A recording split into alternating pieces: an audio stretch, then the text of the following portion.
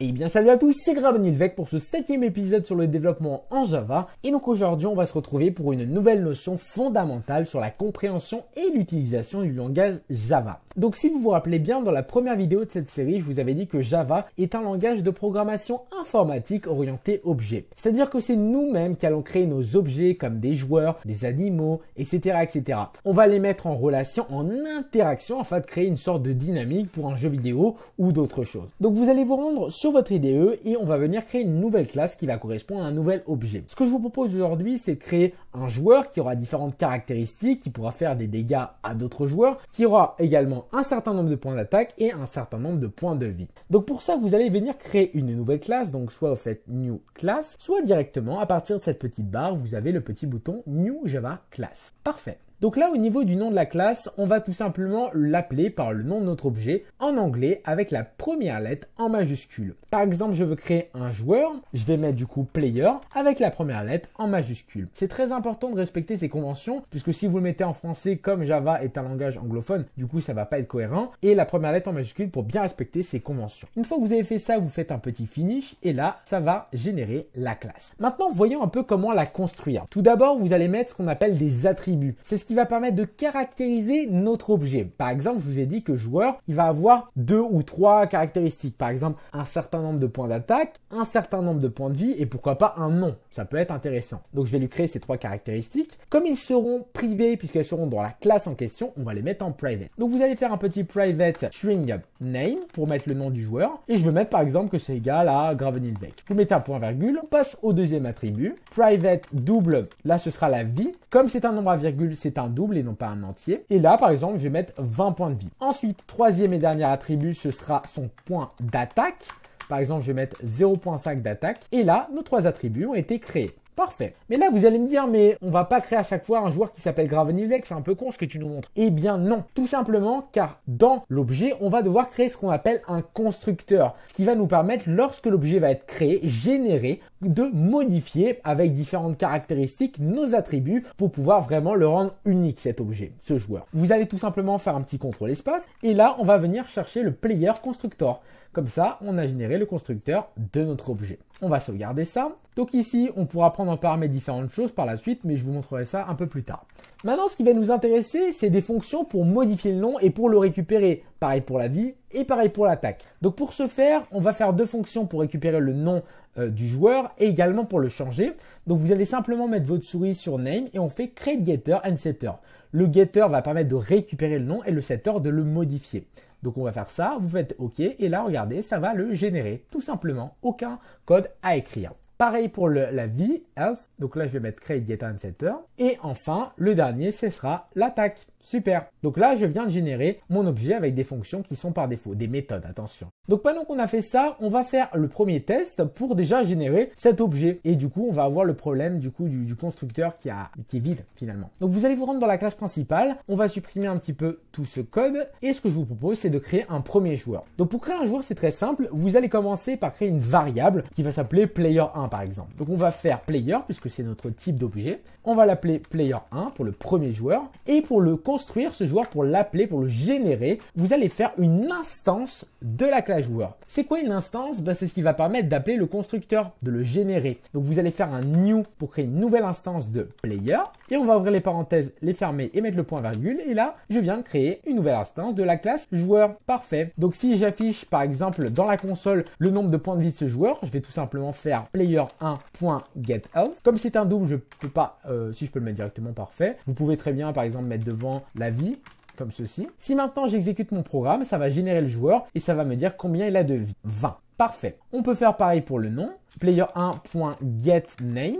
Ici, on va mettre le nom à ce niveau-là. J'exécute et là, Gravenilvec. Si je choisis de créer un deuxième joueur, c'est possible. On va dupliquer ce code. Player2 cette fois-ci. Et du coup, maintenant, si j'exécute mon programme, j'aurai deux joueurs qui vont être générés, mais malheureusement, ils auront le même nom. Pourquoi? Puisque à l'intérieur de cet objet, j'ai dit que par défaut, le nom était Gravenilvec. Mais nous, on va pas faire ça. Ce qui va nous intéresser, c'est que grâce à ce constructeur, lorsqu'on va faire le new player, juste ici, dans les parenthèses, on va faire pouvoir passer des paramètres, comme pour les fonctions. Donc ici, par exemple, on va pouvoir mettre le nom du joueur. Juste après, on va mettre une virgule, on mettra son nombre de points d'attaque, par exemple 20 points d'attaque, et sa vie, par exemple 300 points de vie. Là, notre objet va générer cet élément en question précisément. On peut faire le deuxième, par exemple le deuxième il va s'appeler vinaigrette, comme ceci on va lui mettre 30 points de vie et seulement 150, 30 euh, points d'attaque et seulement 150 points de vie. Parfait. Mais là, on a un problème, c'est que notre constructeur n'est pas encore prêt pour ça, puisqu'il va falloir passer tout ça en paramètres. Alors, je vais mettre ici des petits points 0, puisque ce sont des doubles,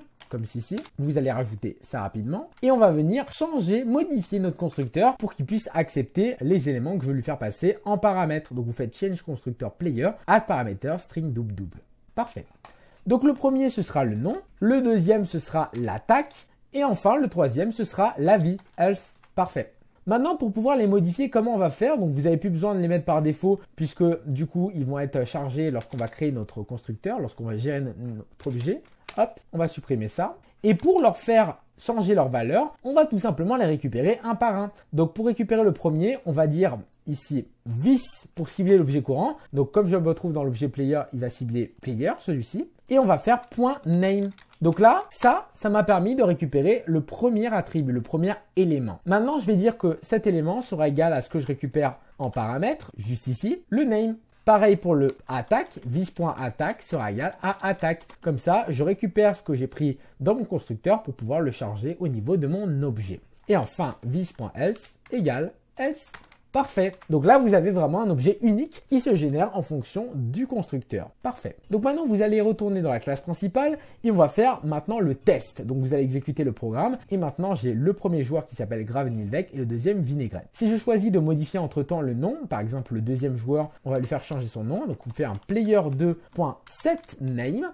Je vais l'appeler euh, test comme ceci. On va exécuter et comme la valeur a changé, du coup le nom aussi. Super. Donc vous voyez, c'est vraiment très simple et ce système est très important à comprendre. Ce que je vais faire maintenant, c'est ajouter dans mon petit player une méthode qui va permettre de soustraire, d'enlever les points de vie d'un joueur pour pouvoir faire un petit combat à la fin. Donc ici, vous allez faire un public void damage qui va prendre en paramètre le nombre de dégâts qu'on va lui faire subir à ce joueur. Et là, on va dire que vis.else, donc la vie, va être soustraite. Donc on va lui retirer de la vie. Donc on va faire tout simplement un petit égal moins ou moins égal, je sais plus c'était dans quel sens, on va tester les deux de toute façon, moins égal, et on va prendre ici le nombre de dégâts. Donc là, je vais pouvoir lui faire subir des dégâts. Donc imaginons, on a ça, par exemple, je vais mettre un deuxième message ici pour afficher la vie, vie player 1 on va mettre le deuxième message et entre temps, on va venir changer la vie du joueur en lui soustrayant par exemple 2 points de vie. Donc là par défaut, il en a 300. Je vais faire un player 1.damage. On va lui enlever 2 euh, points de vie. J'exécute et là regardez, ça me met 298. Donc ça c'est pour le deuxième puisque c'est celui-là qui s'affiche. Donc là par défaut, il a 300 points de vie, notre joueur Gravenilvec. Ensuite, il va subir les deux dégâts et il se retrouve à 298. Si je mettais plus, bien évidemment, ça enlèverait plus de vie. Je vais enlever 200 et là il se retrouve normalement à 100 points de vie. Super Donc vous voyez un petit peu ce système est vraiment très simple. Et maintenant, ce qui va être intéressant, c'est que le premier joueur, player 1, peut faire des dégâts à player 2. Donc ce qu'on va faire ici, ce sera tout simplement un petit message à ce niveau-là. Dans la console, c'est juste pour tester, ne faites pas ça dans un objet directement. On va dire que par exemple, notre joueur, donc on va mettre son nom, vient de subir Là, on va mettre le nombre de dégâts, damage, et on pourra effectuer euh, la cible. Celui qui a fait les dégâts, on pourra ensuite le récupérer. Par exemple, dégâts. Super. Donc si maintenant je fais ce système, on va remettre ici les dégâts, j'exécute et là, Gravenilvec vient de subir 200 dégâts, donc il passe à 100. Donc vous voyez, il y a bien l'interaction qui se fait entre les dégâts par défaut, le nombre de points de vie, et la vie du joueur. Donc si maintenant on veut faire que le premier joueur fasse des dégâts au deuxième, on va supprimer ce code-ci, on n'en aura plus besoin. Ici, je vais mettre tout simplement un petit player de damage, et là, on va lui faire subir des dégâts par rapport à l'attaque du joueur 1. Player 1 get attaque. Et je peux aussi modifier son attaque, hein, c'est aussi possible. Vous faites un petit player 1.set attaque. Et par exemple, je vais lui mettre, je sais pas, 30 euh, d'attaque. Pourquoi pas. Donc là, par défaut, il en a 20. Là, il en a 30. Donc si maintenant j'exécute, vous allez voir ce que ça fait. Test vient de subir 30 dégâts. Et du coup, à ce niveau-là, ça fonctionne parfaitement. Donc voilà un petit peu ce que je voulais vous montrer aujourd'hui. Vous voyez, c'est vraiment quelque chose de très simple. N'hésitez pas à vous entraîner avec le quiz qui sera en description comme à chaque fois. En tout cas, j'espère que cette vidéo vous aura plu. Si c'est le cas, n'hésitez pas à la liker, à la commenter, à vous abonner à la chaîne. C'est des Ciao à tous, à la prochaine. Hey, hey.